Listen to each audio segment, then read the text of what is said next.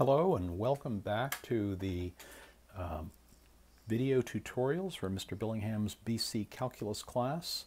Today we continue into some of the material that has been left off this year's AP exam. So this will not be on the AP exam, but this is calculus. You would normally cover it in the uh, typical scope of uh, an, an, AP class during the year, and it would be useful to know as you go forward into you know advanced math and science classes.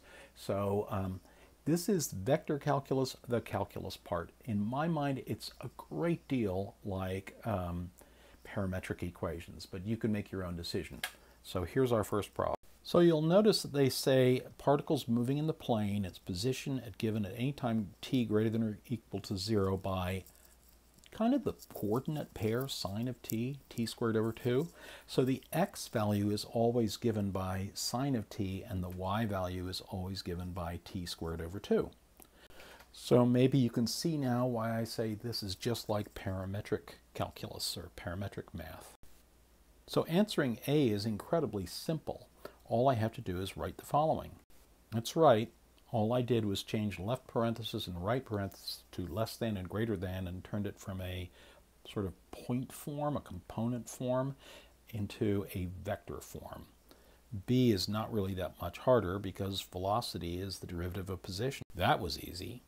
And now the acceleration, well, acceleration once again is a vector quantity. Now D is a little bit um, interesting because it's somewhat open-ended, but I'll try to answer it the best I can by giving the position, the velocity, and the um, motion.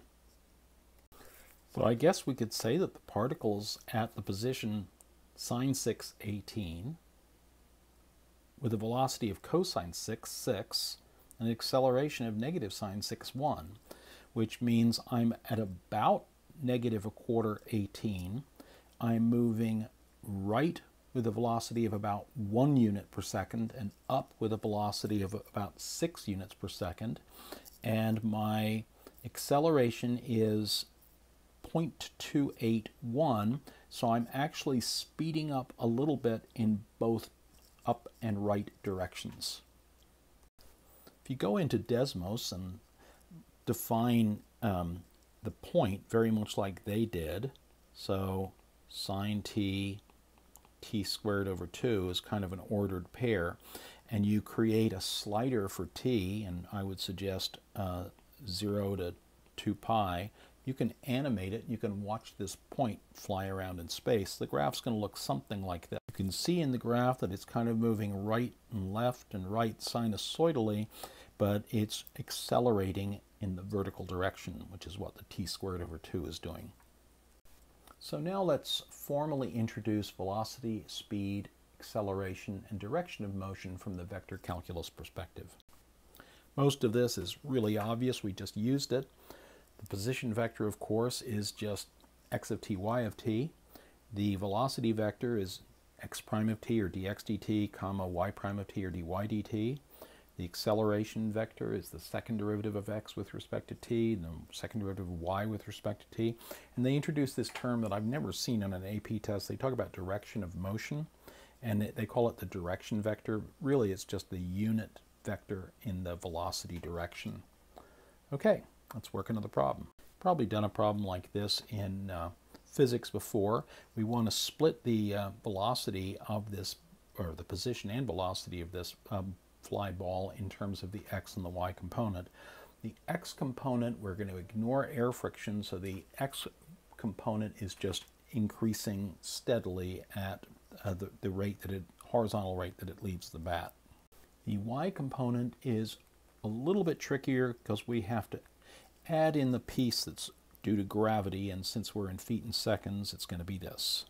So there's the position vector of the baseball in t seconds. Velocity vector should be a piece of cake right now. We just we just uh, differentiate the x and y components separately. Uh, when does the um, fielder catch the ball and how far is he from the home plate? Well, to do this, we know he catches it at a vertical reach of 8 feet, so let's set the, uh, the y component to 8 feet. So we get Using the Pythagorean theorem, we can solve this and get So we find that he catches the ball about 5.869 seconds after it was hit. To find out how much it traveled during this, that time, just multiply that by 55. So the fielder is 322.78 feet from the uh, where the batter hit the ball. Now, how fast is the ball? Well, that's speed, and speed is the magnitude of the vector. So to find speed, I use the following. So it was traveling, the ball was traveling about 73.4 miles per hour when the uh, fielder caught it. All right, that's a pretty good introduction to a nice example of uh, so-called vector calculus. You'll notice it really is very much like parametric motion. Here's a nice little way to think about um, the effect of gravity on the vertical velocity over time by looking at it as a vector. So we can think of the non-gravity piece of the velocity as being the vector 55t, 55 root 3t, and the vertical piece of the um, the gravity piece of the vector as being g of t, 0, negative 16t squared, and if we add those together, we get the same expression that we had for the velocity um, in vector format. So that's kind of an interesting way to look at it. So here we're going to look at some uh, motion of a particle in the plane and um, should be pretty straightforward. Using our knowledge of um, derivatives, we can get the velocity vector and acceleration vector pretty easily. To get a look at the path of the particle, you probably want to either um, do this in Desmos, uh, again by graphing this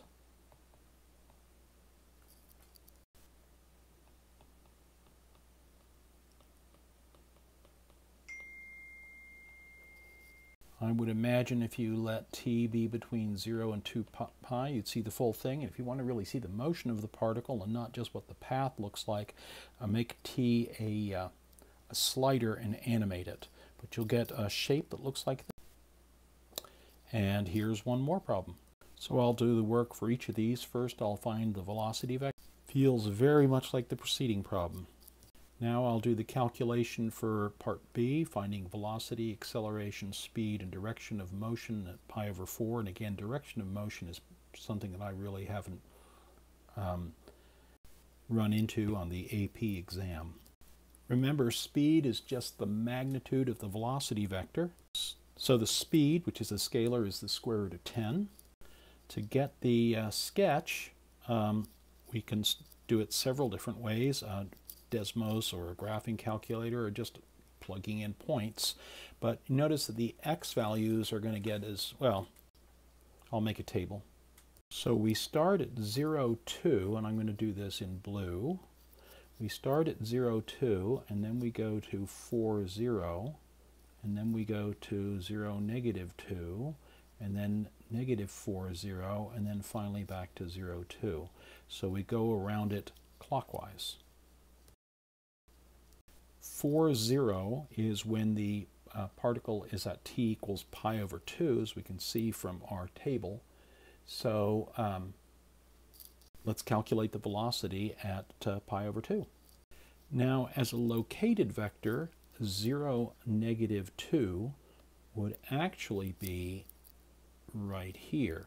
But to show that at the point 4, 0, I'm just going to put it there and that gives you the indication that as it hooks around that right corner it's heading straight down with a velocity of 2 units per second. And that confirms what we already knew that it's traveling around clockwise. The next topic we're going to cover is displacement and distance traveled. Recall that when a particle moves along a line with a velocity v of t, the displacement or net distance traveled from A to B is given by the integral from a to b of v of t. And so if you went three feet to the right for two seconds, three feet to the left for two seconds, your displacement would be zero. The integral would come out to zero. If I want to get the total distance traveled, I use something slightly different. In this case, I integrate the absolute value of the velocity. And so moving to the right at three feet per second for two seconds and then left 3 feet per second for 2 seconds, that would give me a total distance traveled of 12 feet, even though my displacement is zero. So with a velocity and position and acceleration done in vectors, we have to do things pretty similarly, but slightly differently.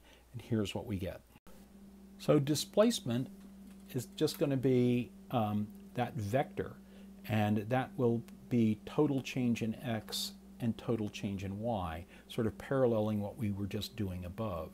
But distance traveled is exactly like it was for curve length in parametric motion. It's square root of dx dt squared plus dy dt squared, which here is velocity 1 squared plus velocity 2 squared, the components squared, which makes sense because the square root of v1 squared plus v2 squared is the speed. And distance traveled, it makes sense, would be speed integrated over time. So let's work an example. So this is kind of an initial value problem. We know the initial position of the particle and we know the velocity vector. So how would I get the position of the particle at t equals 4? Well, this should make sense. So to get the x-coordinate of my position, it's just the initial x-coordinate plus the displacement. And the y-coordinate is the initial y-coordinate plus the y displacement. And these are integrals we could do ourselves, but it seems to me a good time to use a calculator, and here's the answers we uh, since the particle started at 1,5 and wound up at 921, we can get the displacement. And to get total distance traveled from 0 to 4, we would use the following. Again, I'm integrating the velocity's magnitude, which is integrating the speed. And with a calculator, this comes out to about 33.533 units. And that's the distance traveled. So not, not too tricky. Um, pretty straightforward once you get it. And hang on for another problem, and I'll provide a meme. So we're looking at the previous um, problem again, and now I want to get the path of the particle. And so I need to get the position vector. And I can do that because it's initial value problem. I have the x velocity and the initial x. I have the y velocity and the initial y. So I just want to integrate those, and I'll get as follows. Don't forget the plus c.